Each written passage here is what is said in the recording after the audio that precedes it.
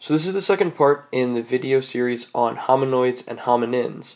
In order to look at some of the fossil evidence that we'll examine in this video, we first need to take a few minutes to talk about what actually defines a hominin. The way that scientists usually identify them is through what is called bipedalism, the idea of them walking on two legs. Uh, this is thought to have evolved before the more complex brain structure and even some of the teeth and other facial features that we usually associate with individuals in the hominin group. So if something walks on two legs, that's like the number one criteria to get it in this category. The ones that we're going to be talking about mostly in these videos, or in this video rather, they're referred to as Australopithecines. These guys fall into the genus Australopithecus, and they are similar to modern people, but they're not that closely related to us. Remember, we're Homo sapiens, so in order for something to be closely related to us, as far as classification is concerned, it has to share the same genus name. So Australopithecus, all these groups, they're the ones that are most closely related to humans, but not in the same genus. So we'll take a look at some of the fossil evidence for individuals of this group as we work our way through this video. The first fossil we're going to talk about is referred to as the Taung child, and uh, this fossil was discovered in Africa in 1926. And it's uh, not quite as complete as the next one we're going to talk about because it was really only just a skull that was found. But we'll talk about some of the significance that came from this in a moment.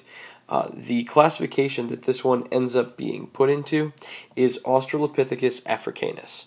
So it was discovered in Africa and it's in the genus Australopithecus. So the name comes together and makes sense for us. Uh, there was some debate about this fossil when it was first discovered. Scientists were not sure if it was truly a hominin because they were saying that they weren't convinced that bipedalism evolved before some of the brain structures we're seeing.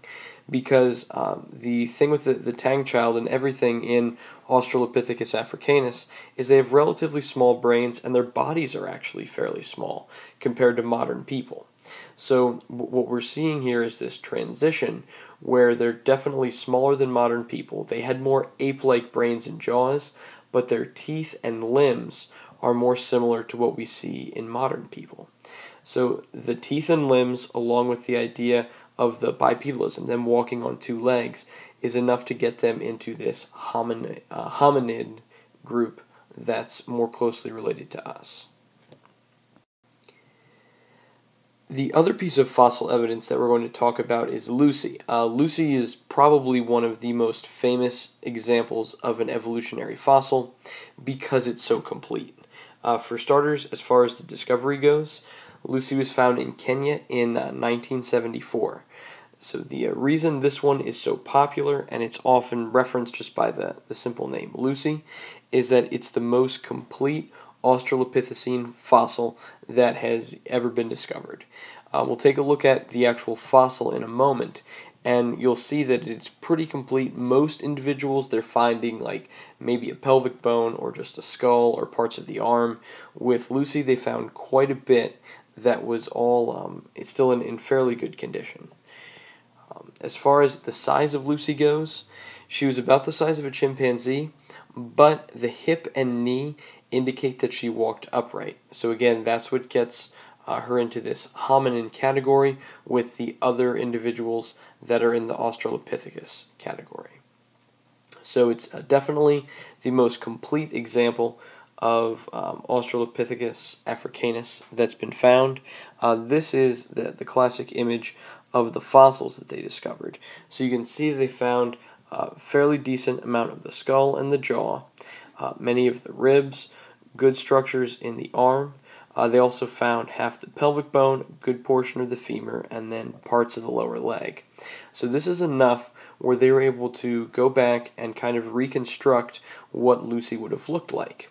The thing that's nice about hominins and other vertebrate species is that we have what's called axial symmetry, which put very simply means that if you took somebody and you split them right down the middle, like directly between their eyes, we're symmetrical on both sides. So like your arms on both sides are laid out the same way, like the bone structure is the same.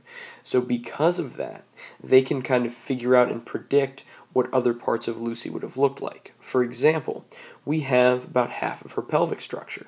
So you'd be able to go through and estimate what the other half of that pelvis would look like because it's going to be symmetrical to the side that we already have. So the neat thing is you end up getting examples of models that were made where they use the information that we already know. And I like this one because it represents the things in like this dark brown that are specimens that we actually found, whereas the other things that are shown in white are things that were put in based on the symmetry that we know vertebrate species have. So for example, like this side of the pelvic bone has been filled in because we know this side. This femur has been filled in because they know about that femur. So it's, it's a neat way of scientists using some technology to give us a better idea of what some of these early people would have looked like.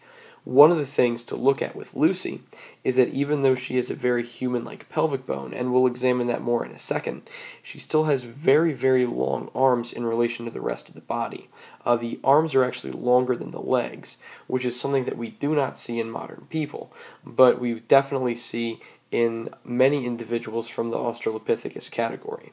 So there are definitely a lot of major changes that go on between Australopithecus and then individuals with the genus Homo that are more closely related to modern people, but this is a very important transition in our way moving from some hominoids into hominins that, that are more closely related to uh, people as we know them today.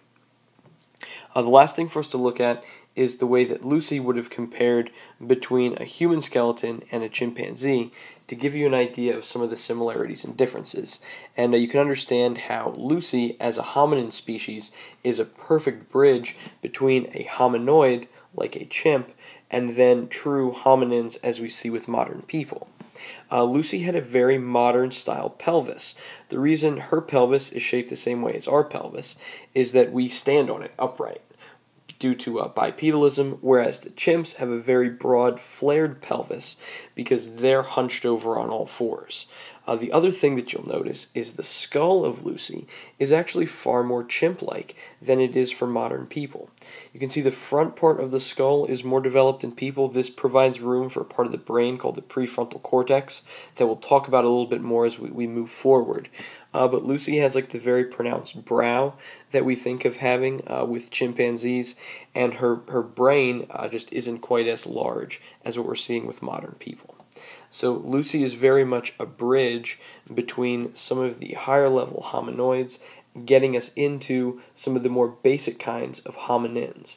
Uh, the next few videos will focus on where modern people came from. We'll look at the fossil evidence that we have for individuals from the Homo genus that are similar to us. And then we'll look at the transitions that led up to us finally having uh, modern people on the planet. So thank you for taking the time to watch this one. Make sure you answer the questions at the end of the video.